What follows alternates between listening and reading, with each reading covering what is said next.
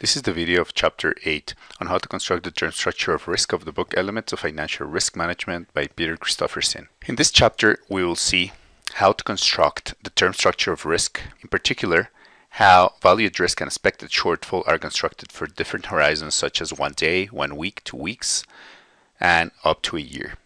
Why we would do that? Well, there are companies that hold very constant portfolios and then they want to know what the risk of that portfolio is going to be over a longer time period. In previous chapters, we learned the linear way.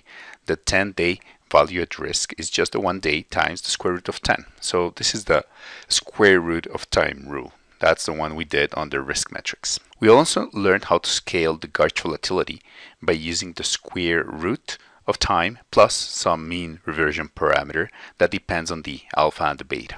In this chapter, we're going to learn how to generate random numbers to simulate future scenarios of the returns, hence future scenarios of risk.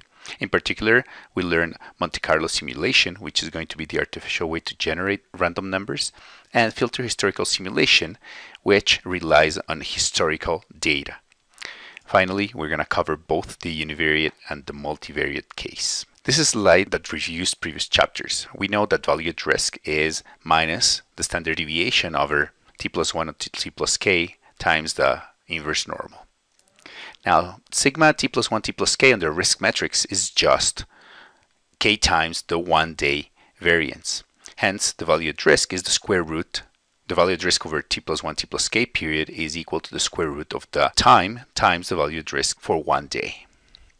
The other methodology is to compute the sigma with the GARCH 1-1 model. So in this case, sigma for t plus 1 t plus k is a function of the long run variance, k, which is the number of days, and alpha and beta, and tomorrow's variance. Then these two volatilities can either be used under value at risk or they can also be used for expect shortfall to compute a longer time period expected shortfall. The problem is that there's no long-term variance formula for other GARCH models, so, such as N-GARCH or X-GARCH. Hence, we need to use the Monte Carlo simulation.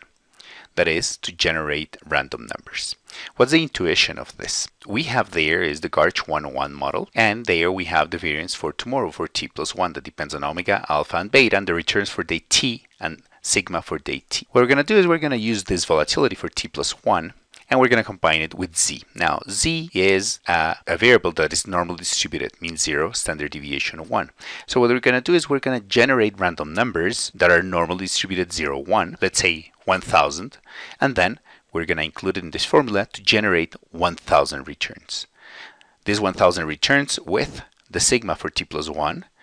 We're going to include it again in the GARCH 1-1 formula to obtain sigma for t plus 2. And then we're going to restart all over again. So sigma for t plus 2 is a function of theoretical returns, 1000 returns we obtained, sigma t plus 1. Now we're going to use the sigma t plus 2. We're going to generate again 1000 random numbers that we are going to call zi t plus 2. We multiply those two to obtain return for day t plus 2. We're going to now obtain 1000 returns for day t plus 2. We include these two in the GARCH formula to obtain sigma t plus 3. And then we can continue doing this up to horizon k. What is the summary of what we're doing? We start with sigma at t plus 1. We generate 1000 normal random numbers to produce 1000 returns. And we repeat these steps until time k. That means we generate sigma for t plus 2, 1000 of those. Then we generate new random numbers. We get new returns with this formula. Then we get new sigmas with this formula, and we keep going until time t plus k. Therefore, the k day return is going to be the summation of the returns from t plus 1 up to t plus k. If we have 1000 Monte Carlo scenarios, that means we're going to have 1000 returns t plus 1, t plus k. Hence, we have a distribution of these returns. So to compute the value at risk, we're going to use that distribution and we're going to take the one percentile of this data series to obtain the 1% value at risk for the horizon up to t plus k.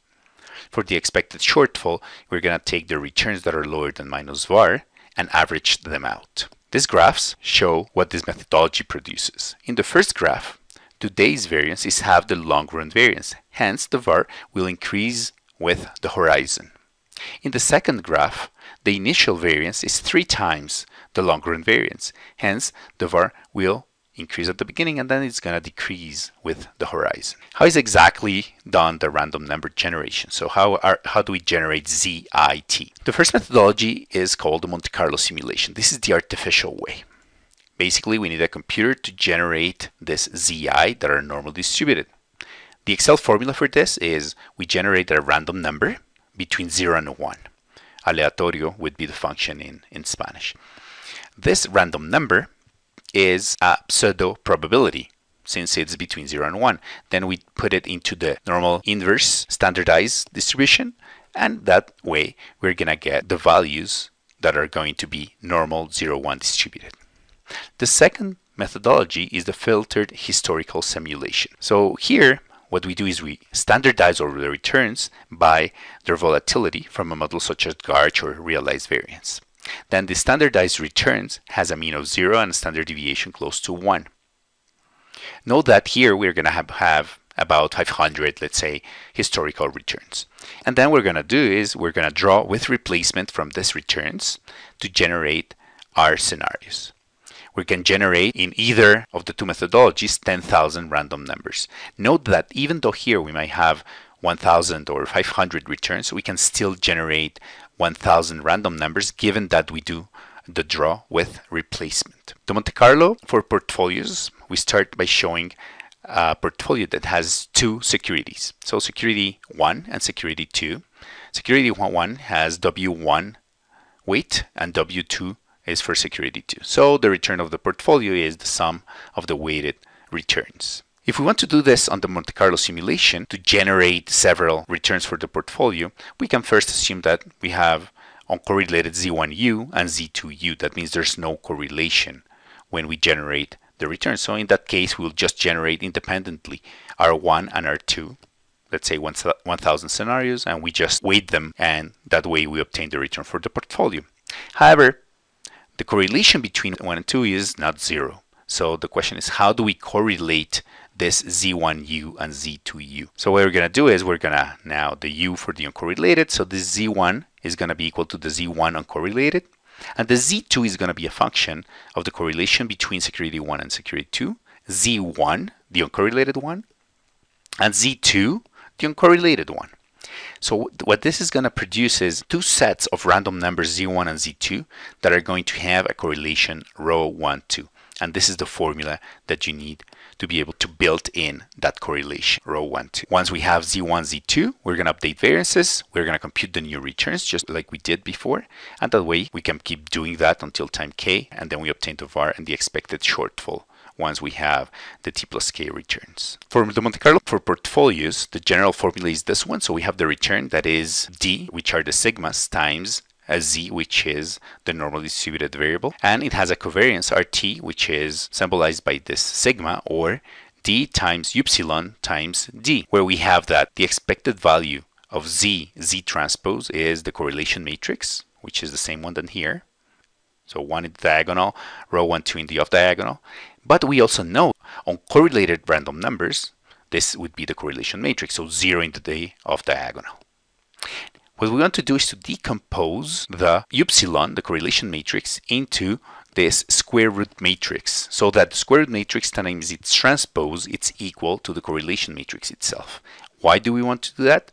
So that when we have this square root matrix and we multiply it by the matrix of uncorrelated random numbers, we're going to obtain correlated random numbers. Remember that we were trying to do is to generate correlated random numbers when we have a portfolio with several securities.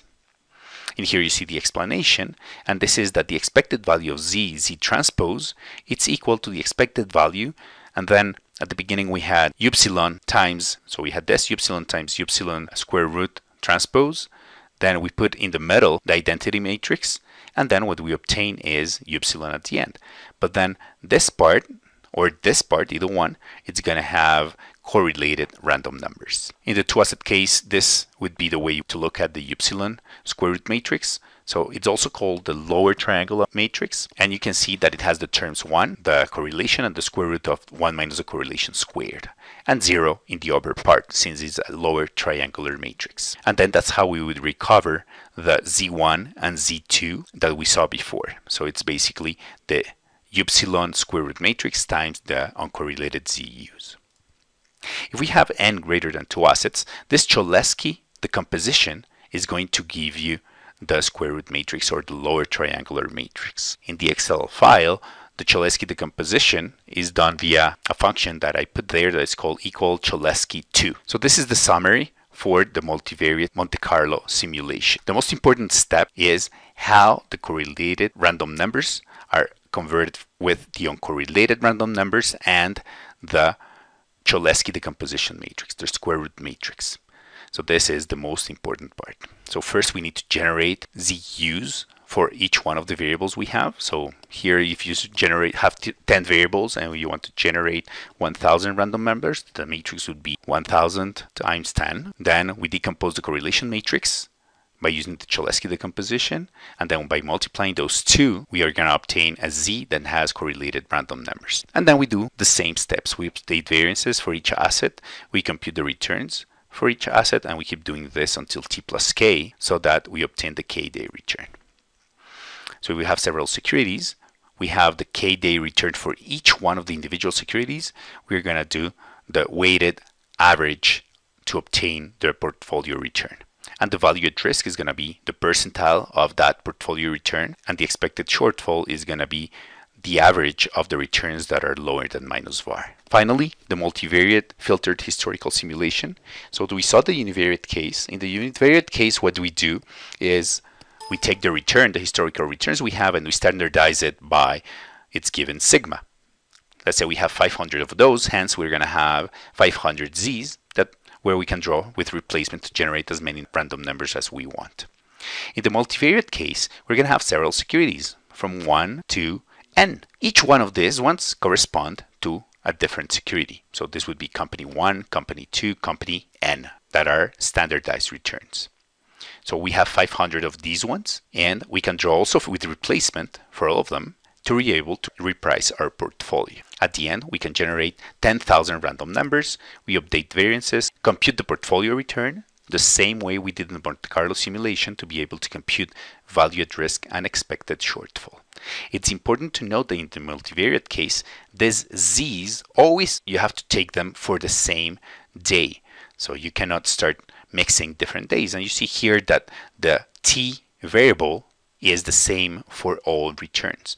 So if you take for date tau equals 2, then this would be t plus tau minus 2, and this one as well, and this one as well. So they would correspond to exactly the same day. The conclusion of this chapter is that we learned how to compute value at risk and expected shortfall for horizons greater than one day, say six months.